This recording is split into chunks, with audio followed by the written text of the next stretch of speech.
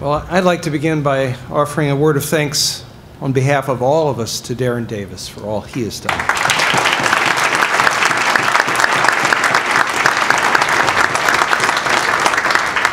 Darin's a very valuable member of our department, and we certainly appreciate all he does for the Institute and for Baylor. So it is a very great honor for me to have the privilege of introducing John Haldane, but it's also a rather daunting task. John Haldane is, of course, professor of philosophy at the University of St. Andrews and director of the Center for Ethics, Philosophy, and Public Affairs there. However, adequately to describe his accomplishments would take way more of his time than he would want or you would want. John has made significant contributions to virtually every subfield of philosophy, including aesthetics, philosophy of education, ethics, both theoretical and applied, the history of philosophy, particularly medieval and early modern philosophy, and he has done extremely valuable work in contemporary epistemology, metaphysics, philosophy of religion, not to mention political and social philosophy. I'm not sure he, why he hasn't gotten around to working into a book on, say, the philosophy of physics or uh, something like that, but I'm sure he'll get to it eventually. John's articles number nearly 200, and I actually just lost count of how many books he's authored or edited. I kept getting different numbers every time I, and I finally gave up. It's hard to know which of these books to mention, but I'll sample just a few. Reality, Representation, and Projection, co edited with Crispin Wright, Seeking Meaning and Making Sense, Atheism and Theism, co authored with J.J.C. Smart, and an, an Intelligent Person's Guide to Religion. This small sample gives you some sense of the variety of his work as well as the depth of that work. Now, in looking at this long list of articles and books, one would be tempted to think that John Haldane must actually be a pseudonym for a group of philosophers. Since it's hard to believe that one individual could do work that is so accomplished in so many vastly different areas. There are few people who can write on esoteric issues in contemporary metaphysics and epistemology while at the same time doing first rate work on Thomas Aquinas and Thomas Reid. There are even fewer that can do first rate philosophical work at the highest level while addressing issues for the general public, dealing with the environment, political justice, education, the state of the church. But this is exactly what John Haldane has achieved. He is a public intellectual in the finest sense of that word, someone equally at home in the most rarefied reaches of the Academy and on the BBC, where his voice is often heard. Speaking in a more personal vein, John is also a deeply Christian man whose faith shapes not just his work but his life. He's deeply committed to the church. He has spent time helping victims of crime, volunteering to serve those with mental disorders. He's worked to provide the insights of his philosophical work to psychologists and counselors. When my wife Jan and I spent a semester at St. Andrews just three years ago, John and his gracious wife Hilda simply went above and beyond what anyone might expect in extending their hospitality and making us welcome, having us in their home again and again. It's wonderful to welcome him here to Baylor to present the William Carey Crane Scholars Lecture on The Wise and the Otherwise.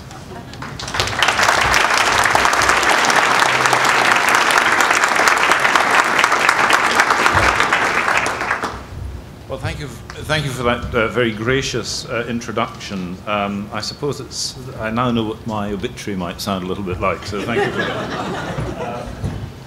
The, uh, I, in fact, I had to, um, in the course of uh, the afternoon, make a decision really about whether I was going to speak very briefly and in a sort of, uh, in the style of an after dinner, a few comments, or more substantially. Um, in fact, I've decided to do both. Uh, that's to say, I'm going to, um, I want to, I, I, felt it would be a pity not to take the opportunity to engage uh, uh, some matters of substance and reflect a little bit on them with you. But uh, I also want to pick up some of the themes of the, uh, of the conference, uh, particularly, and say a few words about those um, also. but let me begin, if I may, with words of appreciation and of celebration. Um, we've already heard that when this idea was conceived, there was some local skepticism as to whether or not it could be realized. but it is a wonderful idea, and the having of it is already something that uh, uh, should be uh, acknowledged and celebrated. But the implementation of it seems to me to be quite astounding. Uh, it's been remarkable how many people have come from so many uh, different uh, locations and backgrounds and approached topics and issues in such a variety of interesting ways. It really has been very effectively and graciously realized, this whole conception of this conference. And for that, we, we give thanks. I mean, thanks have already been given, but let me just repeat, if I may, uh, so far as those who were involved in the conception and organisation of this, certainly Darin once again, and also I won't go through the other names, but I did want to mention particularly Vicky Schultz again. Thank you for the very warm and helpful way in which you've attended to matters. So thank you both again.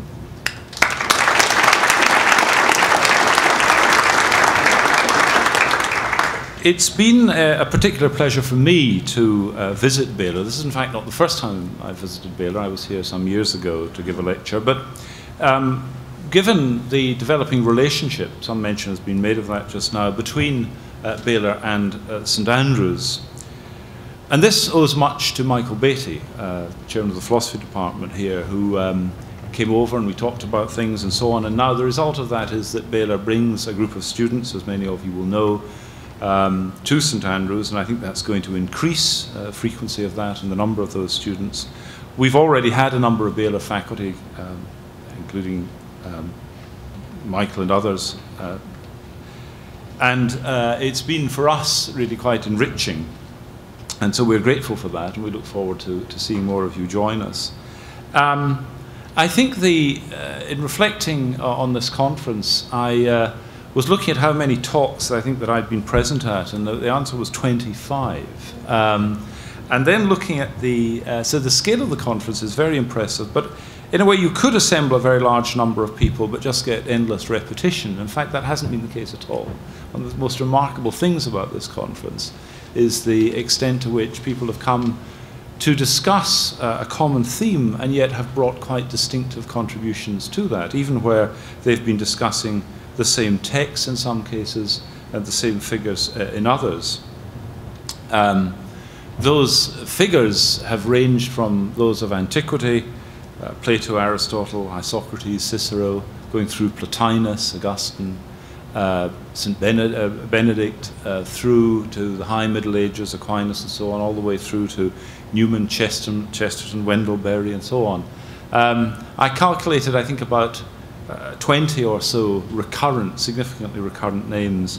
And I think that that is uh, in itself very interesting, the range of figures who have been uh, discussed. But let me just say again, by way of appreciation uh, and congratulation, I think it has been a tremendous conference, a great tribute to Baylor, uh, but also a great tribute to all of those who have contributed to it. And certainly from my point of view, this has been particularly enriching, um, kind of conference that I couldn't hope to uh, see organised in Britain.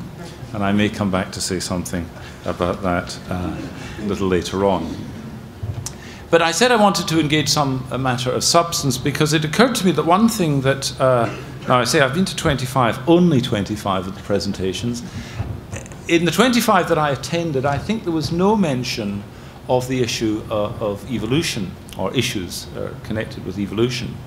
And um, you might think, well, why would there be, uh, given the themes of the conference? And you might also think that, given the um, problematic uh, character of that issue, um, the way it has been uh, the focus of uh, so much friction and attention in the past, that one would want to simply um, put it to one side. And to some extent, I think it has been put to one side, so far, so, so far as concerns the fundamental question about the compatibility of evolution uh, and belief in creation. But uh, there is an aspect of evolution and evolutionary theory that seems to me does press down upon Christians and religious believers, which is not to do with the question of creation, but to do with the question of explanation.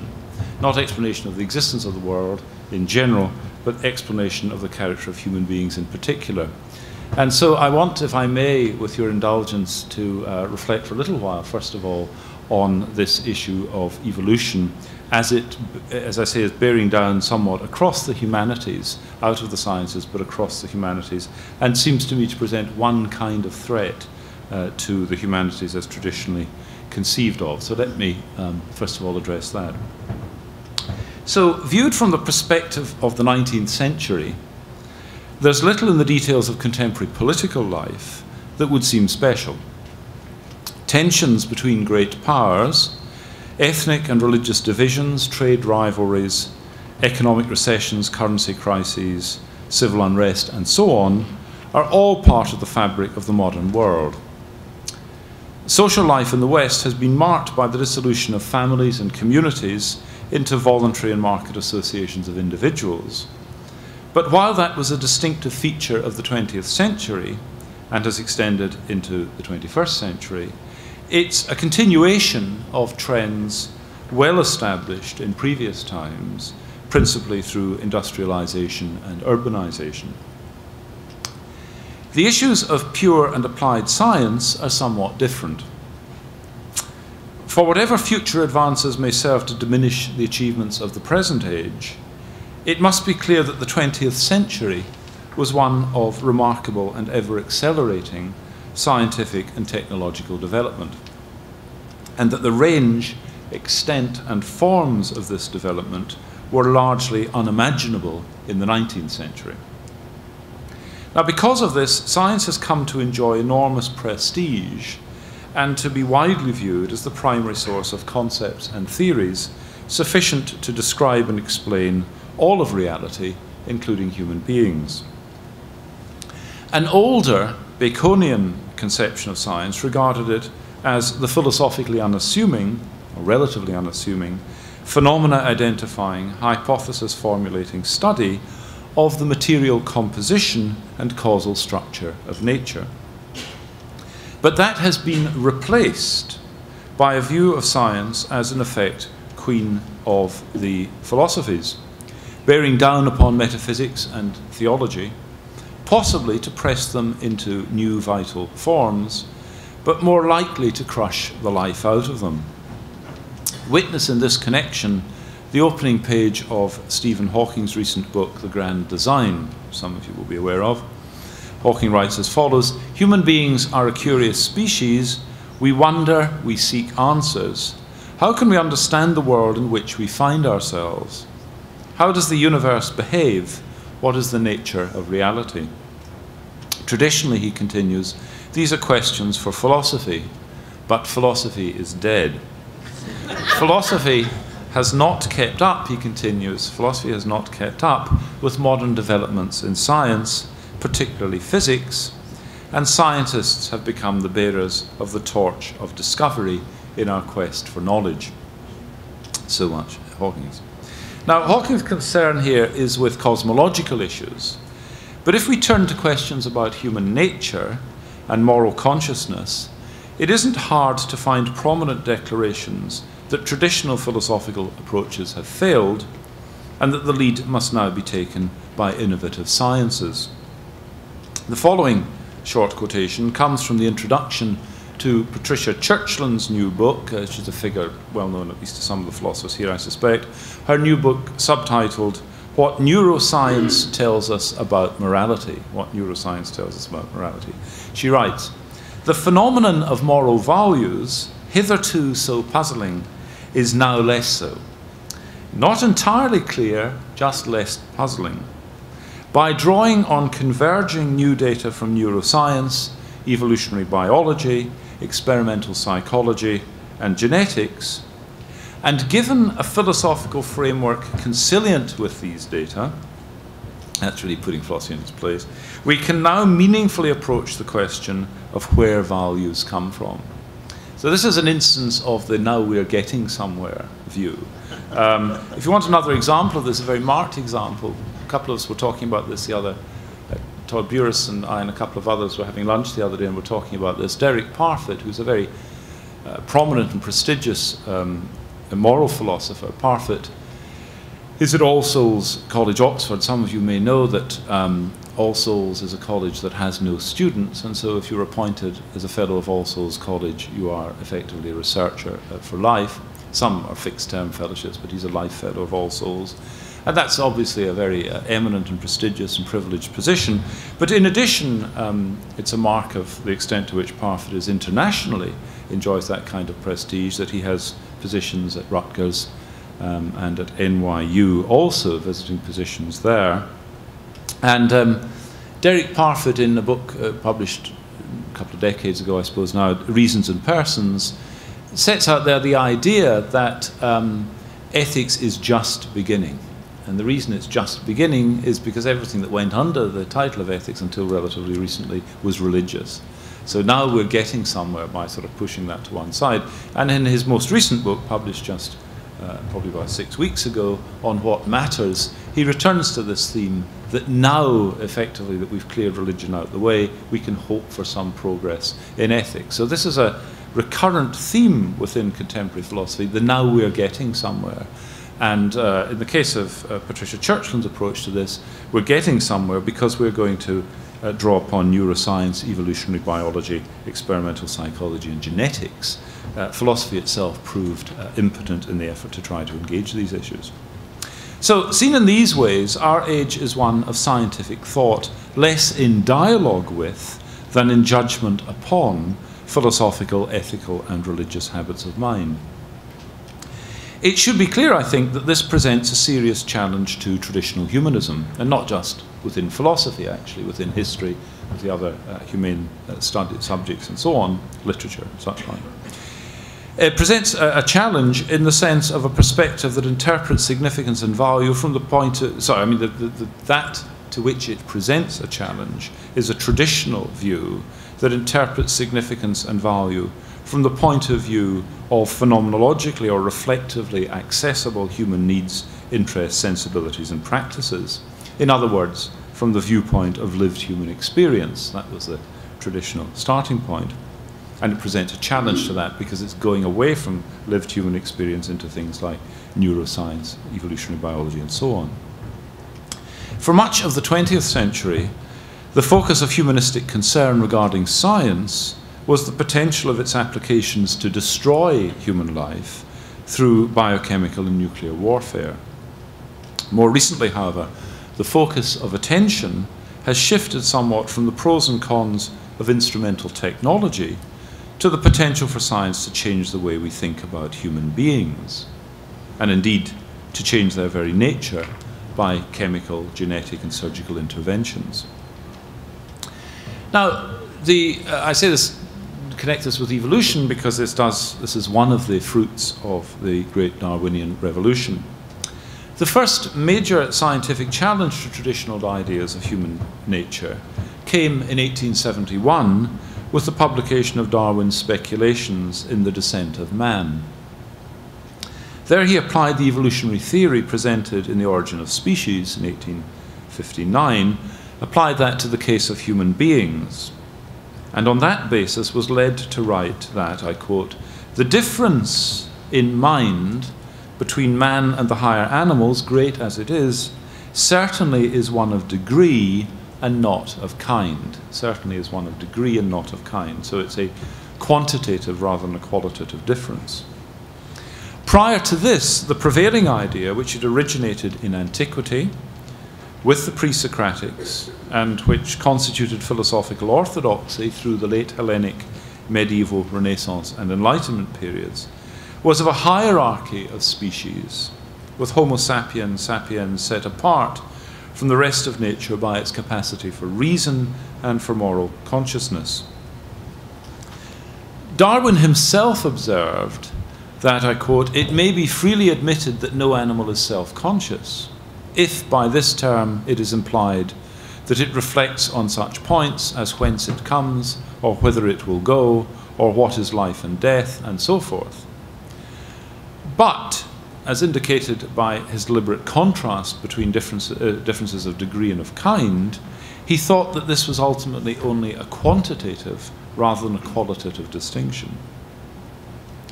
The possibility that our moral and spiritual consciousness and our rationality, along with our upright posture and sparsity of body hair, might be the result of natural selection resulting in descent with modification from apes was deeply disturbing to the Victorians in due course, though various modes of accommodation between theology and evolution were arrived at, principally by religious parties reinterpreting their claims in terms that rendered them compatible with scientific explanations of the operations of nature. Some reflective readers, however, in his own time, saw the threat not only to theological anthropology, but to, to, to, traditional humanist understandings, and pointed to particular areas that seemed to resist reduction, or this kind of explanation. An anonymous reviewer of the descent, writing in the Edinburgh Review in 1871, pressed a charge that's still worthy of consideration, I think. That author, I don't know who it is, I've made efforts to find out, but I don't know who it is, writes as follows Mr. Darwin's theory of the growth of the moral sense and of the intellectual faculty is unsupported by any proof. And the very cornerstone of the hypothesis, that the human mind is identical in kind with that of the brutes, is a mere assumption opposed alike to experience and to philosophy.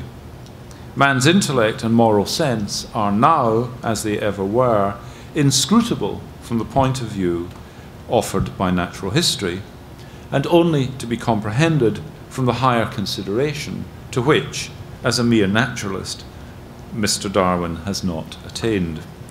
Well, that last bit is perhaps a little bit of a rhetorical excess, but let us just say uh, not attainable from a naturalistic perspective.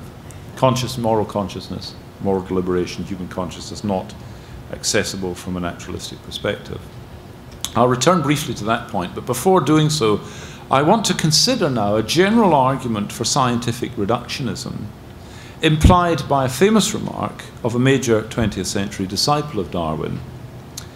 The author in question is the Russian geneticist Dobzhansky. And the saying, oft cited by evolutionary biologists, is that, some of you will be familiar with this, nothing in biology makes sense except in the light of evolution. Nothing in biology makes sense save in the light of evolution. This bold dictum formed the title of an article Dobzhansky published in 1973 in the American Biology Teacher. There he challenged biblical creationism, opposing it with the idea of a process that began some 10 billion years ago and is still underway. Interestingly, however, he also claimed that far from evolution being incompatible with divine creation, it is its method. This is a fairly familiar thought of reconciliation now. He didn't, however, venture the further thought to which an advocate of theistic arguments uh, might uh, move, might be attracted, namely that evolution only or best makes sense in the light of purposeful design. Quite why he didn't do that isn't altogether clear. Certainly, he wasn't ignorant of such arguments, um, or indeed of broader theological speculation. He'd been raised Russian Orthodox and indeed even described himself as religious. Indeed, these biographical facts are sometimes merged to suggest that he was a traditional theist, as, for example, by Stephen Jay Gould, who, in an article entitled Darwinism Defined, described Dobzhansky as, I quote, the greatest evolutionist of our time and a lifelong Russian Orthodox. Now, in fact, however, Dobzhansky didn't believe in a personal God, or indeed in any transcendent creative source outside of nature. Rather, he seems to have identified creation with evolution itself. Immediately prior to the sentence I quoted earlier, he writes, I'm a creationist and an evolutionist.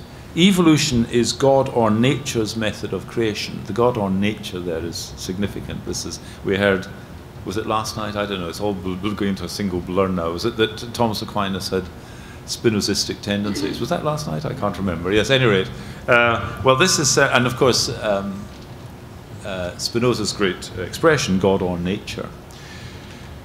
Um, evolution is God or nature's method of creation, and he ends his article, Dobzhansky, by commending Teilhard de Chardin's immanentism, uh, citing a familiar passage from the phenomenon of man where Teilhard de Chardin writes Evolution is a general postulate to which all theories, all hypotheses, all systems must henceforth bow, and to which they must, and which they must satisfy in order to be thinkable and true. Evolution is a light which illuminates all facts. I just want to sort of emphasize this. The question that I'm going to be concerned with is not whether or not evolution is true. The question is about the explanatory power of evolution. So I'm just going to say this again. This is Teilhard de Chardin. Evolution is a general postulate to which all theories, all hypotheses, all systems must henceforth bow, and which they must satisfy in order to be thinkable and true. Evolution is a light which illuminates all facts, a trajectory which all lines of thought must follow. This is what evolution is. So the overall impression here is of a kind of Spinozistic come um, Hegelian spiritualized evolutionism, with man, humankind, representing the emergence of self-awareness. Not only did Dobzhansky favor evolutionary theory as the best account of observed biological diversity and unity, he regarded it, and this is the important bit, as, a fully, as fully comprehensive in scope and in explanatory role. As he wrote elsewhere in another, uh, another article, he writes, Evolution comprises all the stages of the development of the universe, the cosmic, biological, and human or cultural developments. Attempts to restrict the concept of evolution to biology are gratuitous. Life is a product of the evolution of inorganic nature, and man is a product of the evolution of life. So ends the quote. Now, these remarks of Teilhard de Chardin and of Dobzhansky license a stepwise, what I'm now going to call a stepwise extension of Dobzhansky's original aphorism. And this is the stepwise extension. Nothing in religion makes sense except in the light of psychology. Nothing in psychology makes sense save in the light of biology. Nothing in biology makes sense except in the light of evolution. Now, even assuming for, for the moment the truth of the individual clauses there, Nothing in religion makes sense except in the light of psychology. One, nothing in psychology makes sense save in the light of biology, and so on. Even assuming for the moment the truth of each of those individual clauses, it's not at all clear that one can simply conclude from their conjunction that nothing in religion makes sense save in the light of evolution.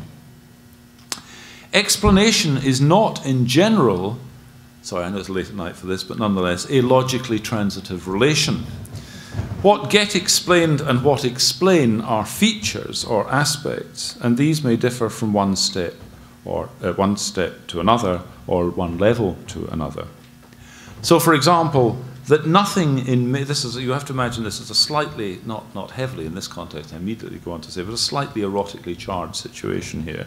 That nothing in Mary's behaviour, let us say her blushing, made sense save in the light of John's presence. Let's say Mary is blushing at John's presence she's attracted to John, and so on.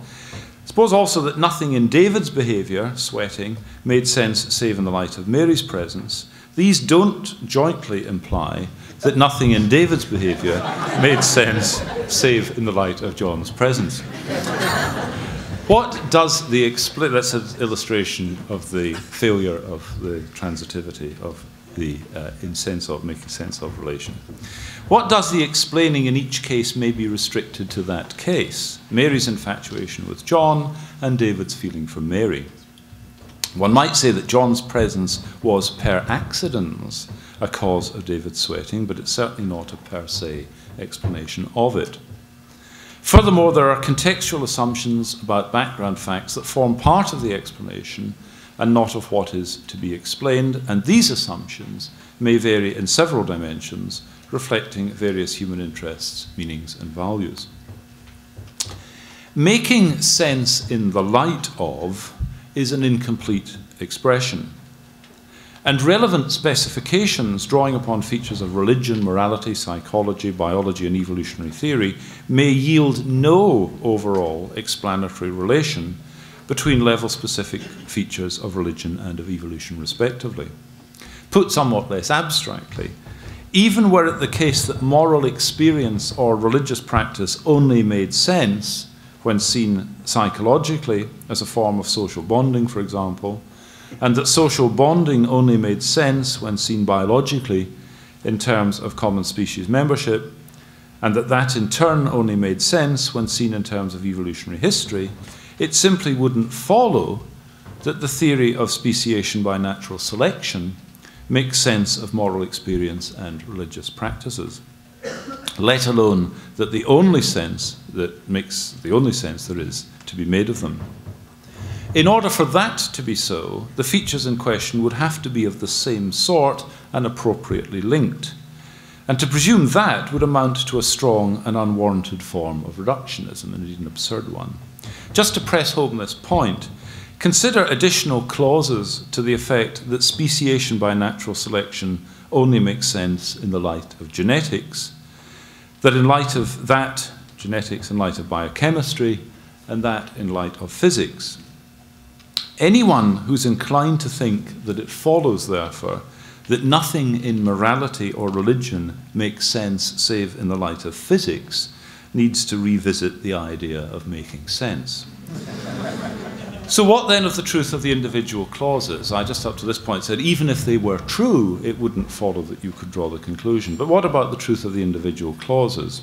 Well, Dobzhansky's main claim was that two marked features of life on Earth cannot be made sense of save in the light of evolutionary theory. First, biological diversity, amounting to several million species varying in size, structure, behavior, and habitat. And second, biological relatedness, as evidenced by widespread biological similarities at the level of anatomy and embryology, and the universal encoding of heredity at the biochemical level. Now, of themselves, these two features, biological diversity and relatedness, are compatible with a variety of explanations. But let me follow Dobzhansky and accept as their best explanation the assumption of common ancestry and then diversification through variation, heritability, and natural selection. What of the further claim that natural evolution comprises human and cultural developments, including ethics and religion? Remember, that was part of the claim. It, doesn't, it isn't just restricted to level of biology. Now, here I want to, as it were, switch a little to um, a, a, kind of an ecclesial source, if you like. The particular source is one that I know it is not necessarily widely shared in this room, but nonetheless it has some historical interest. I'm going to quote you from the Pontifical Academy of Sciences, probably not your regular reading, but at any rate. In an address to the Pontifical Academy of Sciences in 1996, entitled On Evolution, Pope John Paul II reiter reiterated the position affirmed by Pope Pius XII in his 1950 encyclical Humani Generis that, I quote, there is no conflict between evolution and the doctrine of faith. And he went further, John Paul II, in acknowledging the explanatory power of evolutionary science to the extent of saying, I quote, the theory of evolution is more than a hypothesis. Now, the positions of the two popes, uh, by the way, I'm drawing here on popes just because these have a kind of, at least for large numbers of people, a certain kind of authority that it would be hard to find a corresponding office that would, you know, govern the, um, or stand in that relation uh, to other faiths or denominations. But there have been statements from other faiths and denominations on these matters, though not that many of them. The positions of the two popes is discussed in some detail in Stephen Jay Gould, by Stephen Jay Gould, in one of the last books he published. It's a book that some of you might know. It's called Rocks of Ages Science and Religion in the Fullness of Life. Now, the main theme of uh, Stephen Jay Gould's presentation, uh, the main theme of the book is the presentation and defense of the idea of what he calls non overlapping magisteria. NOMA, non overlapping magisteria according to which science is seen as explaining the material structure of the world, while religion addresses the subject of its possible meaning. That's the way in which these matters are introduced and understood, proposed by Gould at any rate. Gould explains that he'd originally assumed that John Paul's statement was, as he writes, fully consistent with long standing Roman Catholic support for Noma. But on reading the earlier encyclical of Pius XII, he came to see that there is a significant difference between the two papal documents and the attitudes that animate them. He writes Stephen Jay Gould writes, Pius had grudgingly admitted evolution as a legitimate hypothesis that he regarded as only tentatively supported and potentially, as he clearly hoped, untrue. John Paul, nearly 50 years later, reaffirms the legitimacy of evolution under the NOMA principle, but then adds that additional data and theory have placed the factuality of evolution beyond reasonable doubt. That's Stephen Jay Gould. Now, the spread of knowledge has made us less innocent than Darwin's contemporaries, and our degree of intellectual pluralism and diversification means that we're used to compartmentalizing ideas and values. Nonetheless, like the author, the anonymous author of the Edinburgh Review in 1871, we too, I think, should feel challenged by current scientific inquiry into aspects of human nature and be aware that the reconciliation Gould recommends may not always be possible. In fact, I don't believe the NOMA thesis. I think it's just not true that religion and science are non overlapping magisteria. Uh, I think it's I, I think that um, for the most part, of course, scientists have no interest whatsoever in religion, but religious people do have an interest in not being embarrassed uh, in the presence of scientists. And so the Noma thesis has been very attractive, the idea that, you know, science just deals with the matter of the world, religion deals with the meaning, so there's no competition. I don't think things are as simple as that, but, um, and one way in which that lack of simplicity shows itself are in the ambitions uh, touched on by Dobzhansky, the ambitions uh, uh, of evolutionary theory to provide a total explanation. Nothing of what I'm saying is meant to be a contest against the fundamentals of evolution. What I'm talking interested in is the sufficiency of evolutionary explanations of certain matters. Now, most theists are committed to the belief, first of all, that the universe is a work of creation. Secondly, that its course is under divine governance. And thirdly, that human beings are images of God in the respect of having a spiritual aspect to their nature. I mean, if you don't, I was going to call that minimal theism, right? I mean, that the, the, the uh, universe is the work of creation, that its course is under divine governance, and that human beings are images of God, at any rate of the Abrahamic theism. Thus, they're restricted, it seems to me, in what they can consistently believe about human origins and nature. While Pius XII and John Paul II were correct in saying that Christian doctrine is not in conflict with the general outlook of natural evolution, this, together with the latter's acceptance of evolution as a fact, risks, I think, creating a false sense of general compatibility.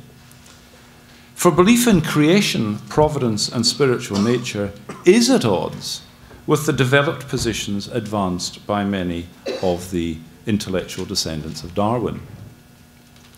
Pius XII had distinguished between the doctrine of evolution, in as far as it, as it inquires into the origins of the human body as coming from pre existent and living matter, distinguished between that and a general evolutionary account of all aspects of human nature, and rejected the latter as incompatible with Christian teaching.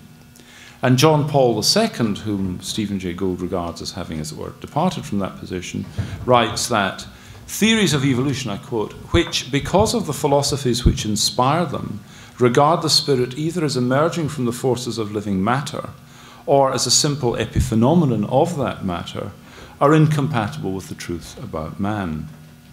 They are therefore unable to serve as the basis for the dignity of the human person.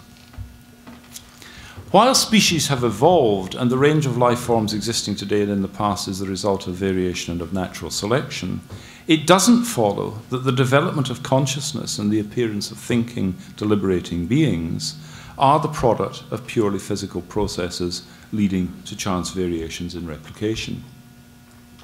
The latter, reductionism, not only goes beyond the empirical evidence, but also includes claims about all processes being physical and the course of biological evolution being due to chance that could not be empirically confirmed since they're really philosophical theses presented under the guise of scientific ones. The issue of the historical emergence of mind is a philosophical one, and in part a theological one, in just the same way as is the issue of the relationship between mental and physical properties. Indeed, it is virtually the same issue seen in diachronic horizontal perspective rather than from a sort of synchronic vertical standpoint. What I mean is, if you ask the question, what is the relationship in me now, or in any of you now, between your mental properties and your physical properties, lie that question on its side, and that is the question about what's the relationship now between the existence of mental properties in the universe and the existence of only physical properties, if that's the assumption, at some early stage. Religious believers should not be intimidated, I think, by the assertion that science has shown that we're products of blind chance and entirely physical causes. And uh, personalists, I'm using that as a sort of general term for people who believe in the, the irreducibility of the human person, should resist the idea that human minds differ from other parts of nature only in the complexity of their physical processes. But each should also, I think, set out to challenge the scientific assumption wherever it's made and expose its difficulties. Now, um, for reasons of time, I'm not going to develop that line further, though I would just say this that currently the main focus of resistance among philosophers, for example, who choose to be resistant or want to be resistant to, say, physicalist explanations or fully um, materialist explanations, the current focus of their attention is on consciousness, in particular what's sometimes called phenomenal consciousness, the what it's like. For my own part, and somewhat sort of um, eccentrically, I actually don't think that consciousness is a particular problem for physicalism. I think the really deep problem for physicalism is the thing that most people think isn't the problem for physicalism, which is intellection, the capacity of human beings uh, to engage in certain kinds of logically structured, rational um, uh, inquiry. Now, I'd, I'd like to develop, uh, develop, those matters further now, but I'm not going to for reasons of, of, time. But I want to set that as the background by way of a sort of general illustration of the fact that there really are issues pressing down upon those who would see education and the subjects that constitute a higher education, within particularly the humanities, uh, who would see those as oriented toward in the direction of, say, moral um, and spiritual values. There are pressures bearing down upon them from, uh, say, the developments of evolutionary theory, or let us say the absorption of broader or the expansion of broader into broader contexts of the fundamental elements of evolutionary theory. And that, as I said, that argument that says, you know, X is only explicable in terms of Y and so on, is the principal mode of argumentation. And what I've tried to show just briefly tonight is that in fact it rests on the fallacious assumption of the transitivity of the explanation relation. But I also think the individual clauses uh, are, are, often false. And this is, is well one task that particularly the philosophically minded like, might like to engage in over the next few years is sort of exploring the ways in which this can be challenged and this mode of explanation should be challenged. But I want now to turn uh, from what would then be the details of that uh, back to uh, the theme, the, the, general theme of the conference. Um, while it may seem natural to members of Baylor University and to other colleges uh, and universities represented here, while it may seem natural to them that it should be home to something called an Institute of Faith and Learning, I have to remind you that viewed from the perspective of the dominant culture of Western institutions of higher education, this is something rare and even scandalous. Faith is, for many academics, eminent and otherwise, a term akin to superstition or credulity. This title, The Wise and the Otherwise, that was given to these remarks, um, I take from John Stuart Mill. Actually, Mill is one of the few figures who hasn't got, been discussed, I think, in the course of this. But anyway, uh, that's probably because he's thought to be a baddie, but you're going to, it's going to turn out he's not, not so bad after all. But anyway, the, the, the phrase the wise and the otherwise uh, comes from John Stuart Mill. He had no doubt, by the way, which camp he was in, uh, and, nor, and nor do most academics. But the more revealing fact is that many, if not most, would put, most academics, would put people of faith into the camp of the otherwise. Not the wise, but the otherwise. Rather than being troubled by this, however, I think we may reasonably take this to be an indication of problems in the world of higher education.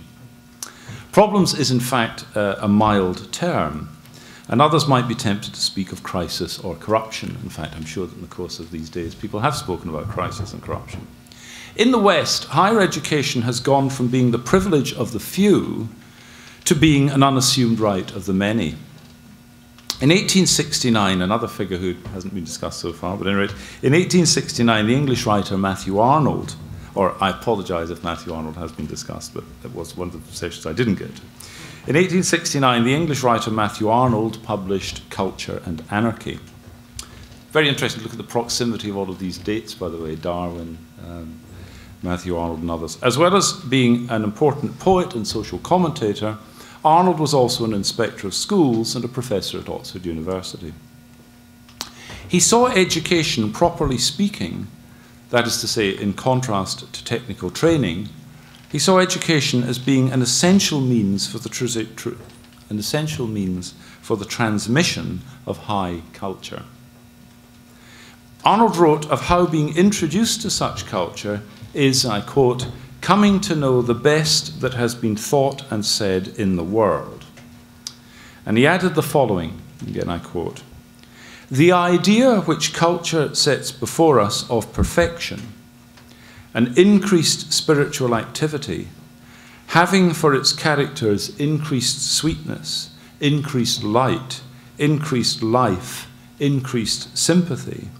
This is an idea which the new democracy needs far more than the idea of the blessedness of the franchise or the wonderfulness of their own industrial performances. Now, this is a noble idea with which Augustine, Aquinas, Newman, and others who we've been discussing, uh, who also wrote on education, in case of the authors I've just mentioned, in the De Magistro, in the De Veritate, and in the idea of a university, this trinity of authors, Augustine, Aquinas, and Newman, it's an idea with which they would certainly have agreed, the Arnoldian idea. It's also one, however, that can only be effectively pursued through the kind of intensive education and formation that involves a relatively small number of students in each class, tutored by a widely read and committed teacher. This combination is impossible in a mass higher education system. Simply impossible. And the possibility of continuing to fund such a system, even with lower educational ambitions, is certainly proving too much for the states of Western Europe. My own university, St Andrews, is the third oldest university in the English speaking world. Currently, it's celebrating its 600th anniversary. It is like Bologna, Oxford, Salamanca, Paris, Cambridge, Padua, Coimbra, La Sapienza in Rome, Pisa, Louvain, and a dozen other still existing institutions, a creation of the medieval world. And like these, and like many other esta others established since, it is a creation of Christian culture. Now, John Stuart Mill is best known, along with Jeremy Bentham, as one of the founders of utilitarianism and of modern liberalism.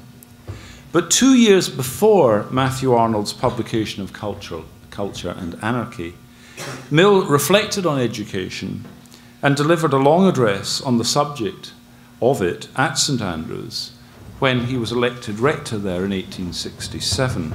It's an office elected, elected by the students.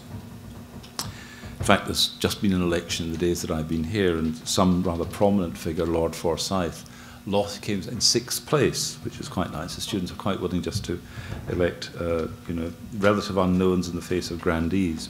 At any rate, uh, uh, John Stuart Mill's address uh, lasted for three hours. you, and I warn you that I will only last for two and a half hours. Now, his, his speech lasted for three hours, which says much, I think, about Mill and about the students and about the cultural standards of the time. What he said on that occasion connects with his observation that I've quoted that some are wise and some are otherwise. Being other than wise can be due to natural limitations of intelligence, but also to lack of proper education. And Mill thought that one of the main purposes of a university was to cultivate wisdom in those who were capable of it. This requires appropriate virtues on the part of both student and teacher, not just intellectual virtues, and a proper curriculum and syllabi structured around what Arnold characterized as the best that had been thought and said, the best, not the latest that's been thought and said, but the best that's been thought and said. It's significant, I believe, that this understanding of the primary role of the universities was most profoundly expressed in two texts which both originated in public lectures. That is, lectures to the public, not just to academics. Namely, Mill's rectorial address to the students at St Andrews and John Henry Newman's idea of a university delivered as lectures in Dublin, and first published in 1852 with the later extended edition uh, six years later, a decade and a half earlier than Mill. And Mill had read uh, Newman. From the perspective of the present, the most striking features of these two accounts, the Millian and the Newmanian accounts of the nature and value of university education, is what they exclude. And since it's become increasingly the case that leading universities are associated precisely with the activities in question, I need to emphasize that, these, uh, that they are saying these are what are to be excluded from universities. Newman thought that it was not the business of universities to engage in research. He writes, A university is a place of teaching universal knowledge. This implies that its object is, on the one hand, intellectual, not moral, and on the other, that it is the diffusion and extension of knowledge rather than the advancement of it. If its object were scientific and philosophical discovery, I do not see why a university should have students. If its object were scientific and philosophical discovery, I do not see why a university should have students. Of course, some research academics take entirely share that view. They don't see that in any sense of reductio ad absurdum. That's fine, yeah, let's get rid of them. Uh, Newman was not against research. Let me emphasize this. Newman was not against research, but thought it should be conducted in special institutes. Mill likewise thought that the fact that certain activities are important for individuals and for society doesn't mean that they should be part of the university curriculum. Mill writes as follows A university is not a place of professional education. Universities are not intended to teach the knowledge required to fit men, of course, then it was men exclusively, to fit men for some special mode of gaining their livelihood. Their object is not to make skillful lawyers or physicians or engineers, but capable and cultivated human beings. It's very right that there should be public facilities for the study of professions, but these things are no part of what every generation owes to the next as that on which its civilization and worth will principally depend. These are no part of that. Now, to understand these passages, it's necessary to remind ourselves of the distinction between knowledge and understanding, and between the promotion and enhancement of welfare and the cultivation of the human mind. Newman was concerned that, as well as coming to know about the particular and the temporary, human beings need to form an understanding of the general and the permanent.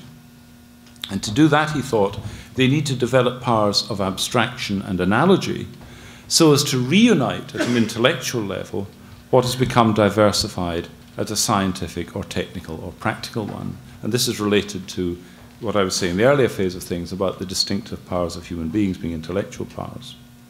Now, this, according to Newman, yields understanding which is both an enduring constituent of human flourishing and an aid in various forms of practical life. He writes When the intellect, this is a familiar passage, when the intellect has once been properly trained and formed to have a connected view or grasp of things, it will display its power with more or less effect according to its particular quality and capacity in the individual. In the case of most, it makes itself felt in the good sense, sobriety of thought, reasonableness, candour, self command, and steadfastness of view which characterize it. The Newman Mill Arnold view, as indeed the Plato, Aristotle, Augustine, Aquinas view, and I might add now the Calvin, Buchanan, Knox idea of education, has implications for the present day. First, we need to distinguish within higher education between the business of cultivating minds towards wisdom and that of conducting research, and again of training people for specific forms of employment. Second, to specify more precisely And to implement that distinction in practice, one needs to confront the claim that university education is for the sake of economic benefit. Now, that idea that it's for the sake of for economic benefit is something that academics are generally very keen to dispute. Inst institutional managers, of course, rather less so. But to reject the idea that universities are for the sake of economic prosperity is not to exclude such benefit as an anticipated or even desirable secondary effect. Perhaps some of you hear an echo there of the doctrine of double effect. Now, next, and here academics I think are more likely to be somewhat divided, one needs, and I'm going to really want to emphasize this, one needs to challenge the idea, which is now quite current, that good teaching is impossible unless teachers are also researchers. I think this is simply false. This notion is open to objection on several scores. First, to keep abreast of one's subject requires scholarship, which is not the same as the pursuit and attainment of new knowledge, but may well take deeper learning and better judgment. Scholarship is often harder than research. Second, what's pursued under the heading of research, at any rate in the arts, humanities, and social sciences, is often of dubious worth, being merely the accumulation of knowledge, if that, without proper regard to the goal of integrated understanding. Third, the mass of research does not much benefit fellow researchers, since the more that's produced, the less relatively is consumed. The expansion in the number and size of universities over the last 30 years, along with the development of the culture of research, has massively increased book and journal publication. And research productivity has been further increased by electronic publication. A recent survey estimated that over 1 million academic articles are published each year. 1 million academic articles are published each year in some 28,000 journals of which 20,000 are peer reviewed. The average reported reading time for an article, and articles, by the way, on average have grown longer, the average reported reading time has decreased from 48 minutes per reading to 30 minutes. Fourth, and in general terms, the more academics have the opportunity for research, the less they may wish to teach, in particular to teach undergraduates and particularly undergraduates at the earliest stages of their studies, as contrasted with enlisting graduate students in their own expanding research projects. To put the matter somewhat more boldly, and I'm drawing to a conclusion you'll be relieved to know, the growing mass of researchers may have become a drag on and even an obstacle to the primary uh, to the pursuit of the primary purpose of universities. I'm going to say that again. The, the growing mass of researchers may have become a drag upon and even an obstacle to the pursuit of the primary purpose of universities, namely education. It impedes the effort to put students first, and it consumes vast sums of private and public funding. How individuals and corporations choose to spend their resources is up to them, but how the state chooses to do so is up to citizens. There's an interesting short story some of you will be familiar with by J.D. Salinger entitled Franny, in which the main character after whom the story is named is visiting an elite US university, it's evidently Princeton, from her own smaller women's college, it's evidently Smith College, Massachusetts. Franny carries with her a copy of the Russian work The Way of a Pilgrim. This is a relatively well known uh, work in the Orthodox tradition of spiritual writing in which the narrator travels across Russia in search of spiritual fulfillment. Through Franny, the, through the character of Franny, we're invited to reflect upon the contrast between that search for wisdom upon which she is engaged and the sapiential shallowness or absence she encounters at the heart of advanced higher education, as here represented by Princeton. She reflects as follows. I don't think it would have all I don't think it would have all got me quite so down if just once in a while, just once in a while, there was at least some polite little perfunctory implication that knowledge should lead to wisdom, and that if it doesn't, it's just a disgusting waste of time. But there never is. You never even hear any hints dropped on a campus that wisdom is supposed to be the goal of knowledge. You hardly ever, he ever hear the word wisdom mentioned.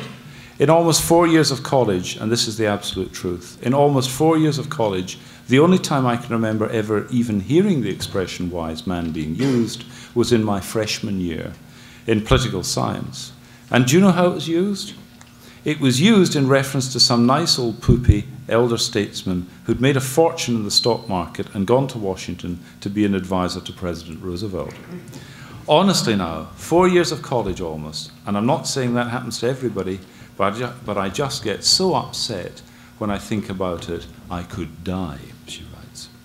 Well, it's particularly sobering to note that Salinger's story was first published in the New Yorker magazine in 1955 which tells us that Franny's experience was not uncommon even then, and suggests one major source of the lead away from an understanding of universities as places for the cultivation of minds towards an idea of them as instruments of economic advantage or as places of research. As the situation in the public finances worsens, and it is worsening, hard choices will have to be made. It's hardly plausible to insist that education should continue to enjoy levels of support without obvious benefit to the undergraduates for whose sake the universities were brought into being and who increasingly will have to pay for them. The theologians tell us that God does not will the evil but permits it for the sake of the, but permits it for the sake of the good that may come from it.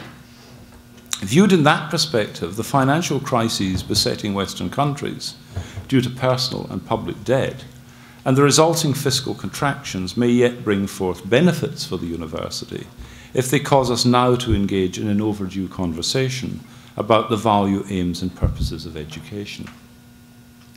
Finally, if the, universe is to, if the university is to fulfill, whatever the universe has to fulfill its role, if the university is to fulfill its role as a place for society to engage in reflection and self criticism, then it needs to set aside the absurd posturing of those who would outdo one another in the extravagance of their claims.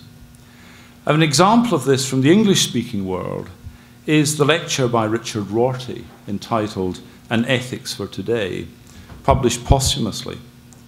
Setting himself squarely against the Catholic Church and its tradition of moral objectivism rooted in a philosophical and theological anthropology, Rorty asks and answers a question.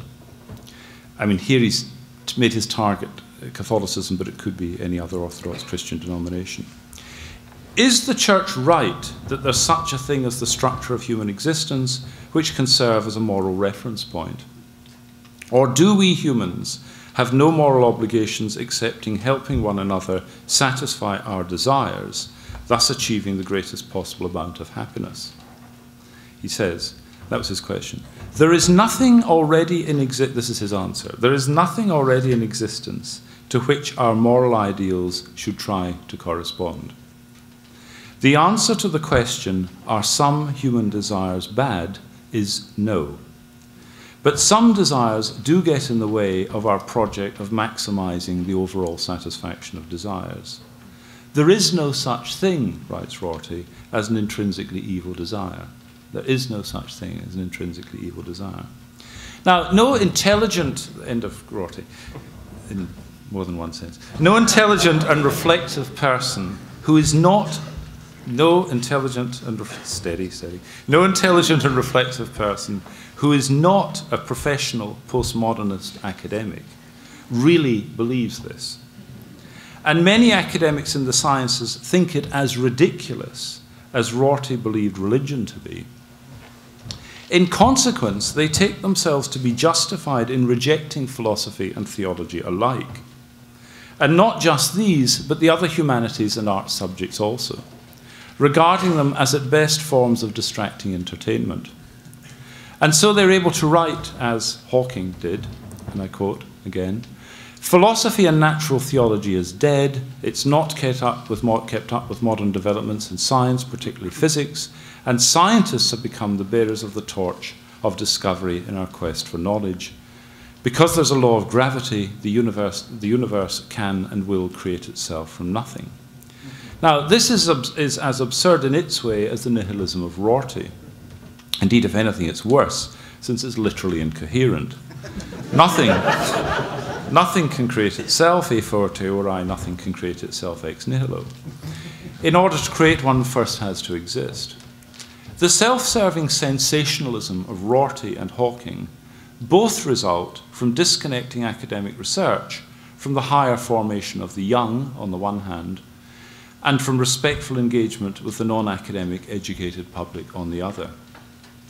Currently, many academics and university managers are inclined to blame society for failing to support and respect them. But they've done much themselves to lose the support of society, and they now need to set about regaining it by showing how the university can be a site of formation and reflection, a place committed to educating for wisdom. Thank you very much.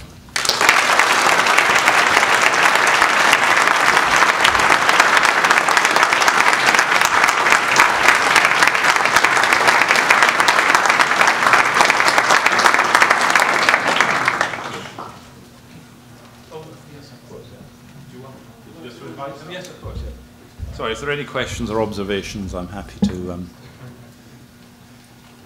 happy to uh, receive them. Yes, I'm sorry. You, you you want to come to the mic and uh, give us your name and um, I'm Carol Simon. I'm from Hope College, uh, a uh, liberal arts college that um, prides itself on something I may have to go home and tell them to stop, um, which is uh, uh, giving students a terrific liberal arts education by engaging them in student faculty research. Uh, with the idea that research shapes habits of mind and heart that will make them both um, better human beings and more intelligent.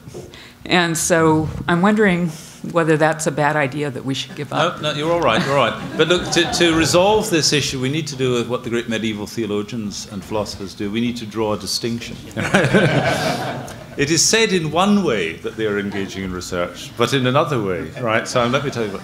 Look, the term engaging in research has, a, has acquired a broader currency. So high school pupils could be given a research project, right? That means, the, and the verb to research, I think that's idiomatic in American English, isn't it? Go and research that, which is generally understood as go on Wikipedia, or whatever it might be. But anyway, but, but I mean, my children at any rate, from probably the ages of 14 or 15 or something, would, would say things like, we're researching a project or something. That means finding out about. No, I'm in a laboratory. Yeah. No, no, no, I, of course, no, I didn't, uh, sorry, I wasn't meaning to reduce it to the level of what might go on in high school. What I mean is the, the, the, the idiomatic use of research, which has gained currency in education generally, not exclusively in higher education and so on, uh, the, to which I think you're referring is something like this. Engage in a systematic, disciplined project of inquiry with set, certain set aims and using certain disciplined methods and so on and such like. Let's call that inquiry now. Research, in the sense in which Newman was concerned with it, to say that it's no part of the university or research in the sense in which academics pride themselves in engaging in research, not sharing this with their students perhaps, but engaging in research, is the acquisition of new knowledge. So the idea is something like this not just new to the person, the inquirer, but adding to the stock of human knowledge. Now, I think that, you know, I mean, I've had two children go through programs at Edinburgh University of a sort that part of the undergraduate study involved them in engaging in research. One was an evolutionary biologist and so on. But I, you know, working alongside a group of scientists, let's say, on um, looking at some aspect of that has a sort of genetic component or something of that sort, is fine. That's part of acquiring things like uh, scientific skills of, of, of, you know, disciplined methods, uh, learning the methodology, learning the techniques and things of that sort. That have, has quite properly has a place in, in, in, uh, in university studies. What is in question here is the idea of people's conception of what justifies their existence within the academy is they simply engage in the acquisition of new knowledge. Now, so that, that's partly to sort of ease the, the, the, the difficulty. Let me say, however, against, against, against what I've said, that one response to what I've said is that this is just self indulgent at this point. It's simply an indulgence to think that there's any turning back of this now. That universities have become places of research in this rather more speci- specified sense. And one of the reasons why it's difficult to think that that could be given up, that we could revert, as it were, to the Mill Newman uh, Arnold conception of higher education, uh, is that, first of all, university, universities arguably couldn't survive without engaging in research for the financial rewards that it brings, particularly in terms of government funded large scale programs and things of that sort. Uh, but secondly, academics couldn't, uh, I mean, the conception of themselves that they, and their self worth that they have developed is such that the idea, you know, that they might somehow be expected to work in, in higher education institutions and not have as their sort of ambition the possibility of being a pure researcher or something of that sort is so anathema to the culture of elite institutions. I mean, I, I, I, suppose I have to be slightly careful, particularly if this is being filmed. Yeah, well, perhaps I won't put this. All right, so, uh, but let me, I mean, hmm, uh, it is a not uncommon, it's a not uncommon feature of universities now uh, to go through a process of looking at candidates for posts in which the thought that this person might be completely hopeless in a classroom isn't even voiced because it's so used to being silenced. You know, um, the thought that this person would be dysfunctional in terms of their relations with other colleagues or um, wouldn't be willing to engage in administration and so on is not voiced because it's so used to being silenced. The thought is, look, if we could get this person, can you imagine what that would do for our research rating or what that would do for the prestige of our position and so on? That's very, very common. Now, um, the conception there of research has become disconnected from the practice of education. And it is, again, if I could just emphasize, particularly so far as the humanities are concerned, what I was wanting to emphasize, eh, or at least part of my argument against, see, one of the arguments for the necessity of research is, you know, research-led teaching, right? That, that uh, the teaching is enriched by research and so on. It seems to be, and I'm allowing the case of sciences and these kind of projects and so on, but as far as the humanities in particular are concerned, teaching is enriched by scholarship. It doesn't follow from that it's enriched by research. In fact, my own experience, research-led teaching, I mean, I do mean, you could just say, well, that just tells you something about your experience, but research-led teaching consists in an academic just talking about what they're currently doing in their research in the presence of a number of students. And that's meant to be a privilege for the students and a benefit for the uh, academic. Sorry. Mm. I may be next. you used a phrase, uh, revisiting the idea of making sense in. Oh, yes. Right, this idea that uh, if you end up thinking that religion only makes sense in the light of physics, right. uh, then it's time to revisit the idea of the expression making sense. So it occurred to me that that was precisely what these radical evolutionists were asking us to do, right? Mm. That, that they were saying, you haven't really understood Mary's blushing by talking yeah. about her feelings. You've only really understood it when you understand physics or something like this. And it doesn't strike me as obviously absurd. I was wondering if you. I know it should. I, have, I would feel guilty. I know it should strike me as absurd. But well, I did. The invitation was you might want to think again about the, the expression making sense. Well, look, here's one reason why you might think it's absurd.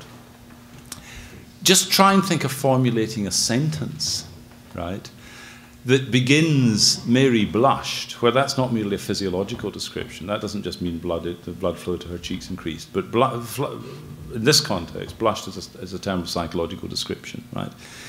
Mary felt embarrassment, right? Because, and I'll complete that sentence in the vocabulary of physics. Now, of course, if you say, somebody might say, well, we could do it in the language of physiology. Could she blushed because, um, you know, the flow of blood to her face or something? But that's take the, the, the terms of explanation of the wrong sort here, because blushed there is just a physiological description, right? Blushed in the sense in which we were concerned, looking for an explanation, which is given by saying John or whoever was is present. It means something like felt embarrassed or you know felt shy or whatever it was. But this only shows, I think, the evolutionist would say that uh, the finitude of human knowledge, right? If we knew more, we could give a description of her emotions purely in terms. I'm channeling yeah, Church. Yeah, you've also heard the expression "a blank check," haven't you? I mean, this is a, you know, the the idea that. Um, you know, if we just, I mean, what, the point here would be what kind of thing could be added to the stock of knowledge? I mean, by the way, uh, I don't want to, because this would be of interest to philosophers, but I think we might sort of just be indulging ourselves a little bit. I do think it's important to make a distinction here between causes and conditions. And there are lots of conditions that have to be in place for, I mean, of a physical sort and bio, you know, chemical sort and such like. But making sense is meant to be explaining, in a sense of explaining that goes something like, ah, I see why, right? And now you want to, it, it looks, I mean, just to put it at its briefest, if the thing to be explained is something psychological, the explanation better be psychological. That's right. Yes. Uh, my name is Daniel Ritchie. I teach at uh, Bethel University in St. Paul, Minnesota. And I wonder if you could uh, talk a little bit more about some uh, more positive relationships between science and uh, uh, the humanities or, or theology. Um, and one term I'd like you to speculate on a little bit is the term of beauty, which is something we've heard a little bit about in this conference, but no one has, no one has really discussed wisdom uh, in uh, the appreciation and understanding of, of beauty. It seems like in the sciences, even uh, atheists Yes, talk yes. about the experience of majesty, the beauty of information, Sure. uh, and the reconciliation of form and matter, and, and so on. Yeah. Well, uh, just two things briefly. I mean, one is that the term beauty um, is a sort of analogical term. It's used in different ways of different things. As you say, a beautiful proof, a beautiful scene, uh, you know, uh, beautiful situation, whatever it may be. Um, if one had to say what's common to these uses of the term, one would be reaching out to things like due proportion or fittingness or something of that sort, right? So what's beautiful about this situation is its fittingness, the way in which things are related, parts are whole, and so on. What's beautiful about an argument is, let us say, its economy, for instance, the way in which premise and conclusion are articulated in a very elegant way and things of that sort. So uh, I think that it's certainly what beauty, you know, points towards is order, due proportion, and things of that kind. Now, you might think that that would trigger in the mind of somebody who is disposed to use that language of their subject matter the question from whence comes this due proportion? And that's an interesting um, case in point. But I, I thought, just to mention, I, so I thought possibly we were going somewhere else with this, so let me just say what the other somewhere else is, because it relates to the evolutionary story. So, just to give an example, there has been a kind of growth industry mean, all academia is growth industry now, but there has been a growth industry in evolutionary aesthetics. Right? So the idea would be something like this Why do we enjoy certain sorts of landscapes? Well, because of the conditions under which our ancestors uh, came to be formed. So uh, basically, landscapes in which you have an overview of the landscape, but yourself can be concealed, have certain hunting advantages, and so on. You can see how this is going to go, right? Um, this is very like Marxist analysis. I mean, to take another age and a different time and place and so on. Marxists would say things like this. Look, if you wonder why, what, why do we think portraiture arose when it did, let us say, in Northern Europe, in the particular form that it did in the 17th century? Well, it's associated with the emergence of a certain kind of mercantile class. And this is a small class commanding large bodies of wealth over very large numbers of people who could take it away from them overnight. Why didn't they do that? Well, because they created a sense of authority and permanence and presence. And how did they do that? Through the development of portraiture, in which the merchant was seen through the portrait. I don't doubt that, that something of that may be true. It's just not going to answer the question: Is this painting better than that one? Right? I mean, it sets in a way it's back to causes and conditions, right? I mean, there are. I, I think Marxist analyses can often be quite illuminating, actually or quasi-Marxist analyses about the economic structures and things of that sort. But they don't fully explain. They set certain conditions. That wasn't your question, but just to make that point, that I think the beauty is, the experience of beauty is an ineliminable form of human experience. It's conditioned and shaped by all sorts of things, including, no doubt, our, our ancestry. But at the end of the day, there is something that is given in the experience of beauty that is not made sense of in terms of all of that. Uh, it's, it's made sense of internally in its own terms. The only thing that will explain an experience of beauty is an aesthetic explanation. Sorry. Perhaps have time for one more question? Yes, I do, yes. Right. we'll try and do it in unison, okay? So. Well, Okay, sorry. If you make them brief, I'll make them brief. My replies I'll will be really briefer, so you get both good in, yes.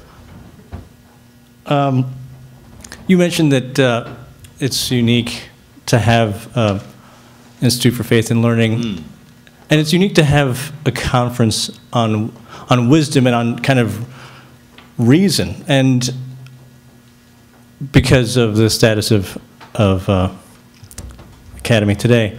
So, why why is this being done at a Christian university as opposed to other places? And, and you mentioned that Uh, the UK the Lord or something. Would tha- would thank the Lord be a sufficient answer to that question? I'll Grace, the Holy Spirit. I'll take that. But you, you also mentioned that um, th- this kind of thing is not so imaginable in the UK or. No. And I don't know if you have anything to say. Um, the absence of the Holy Spirit from that island. Uh, well, I mean, sorry, but just to say, it is a much more degraded culture. British, British culture is degraded in these respects. And not only in these respects, by the way, but it is a degraded culture. Yeah.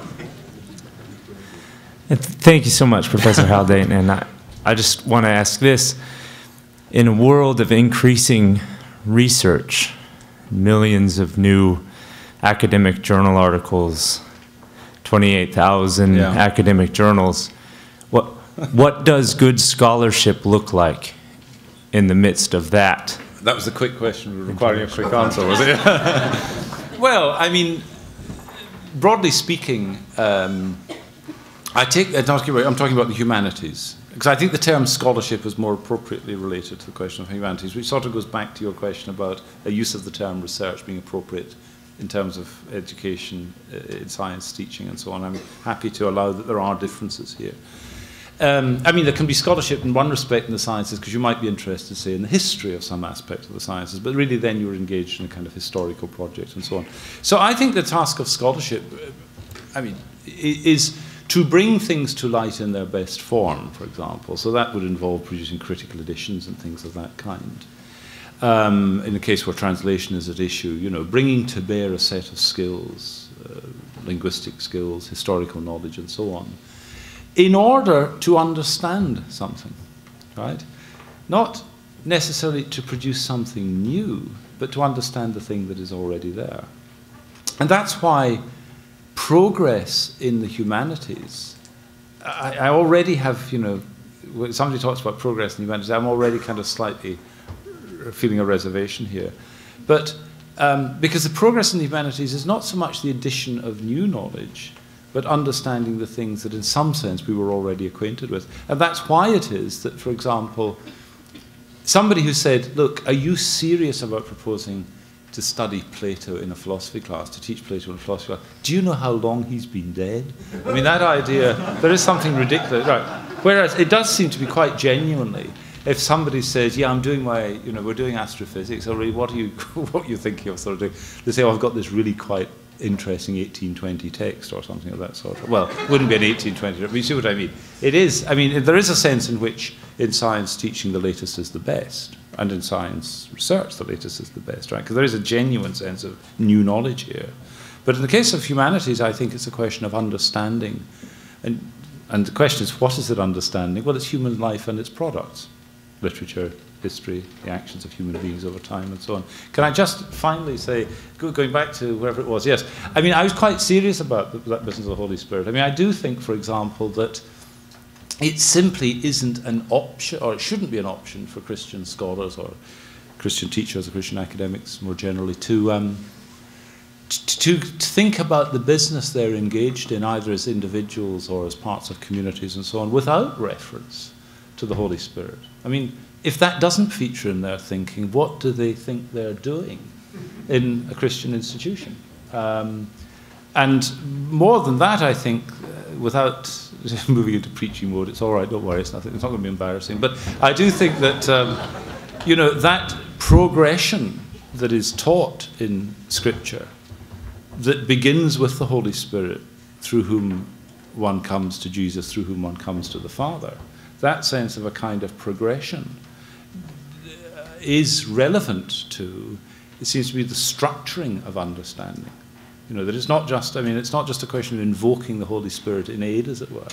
That is itself, we're taught, part and purpose of something else, point and purpose of point and part of something else, right? The Holy Spirit is what draws us to the next stage, which draws us to the Father. That's the teaching of Scripture in the Apostolic Church, right? There is this progression through the economy of the divine, from the Spirit to the Son to the Father, and so on. Now, it seems to me that that is obviously those are theological themes, but uh, any scholar, any Christian scholar, should be mindful of those ideas, and they it seems to me they should structure their work in through prayer.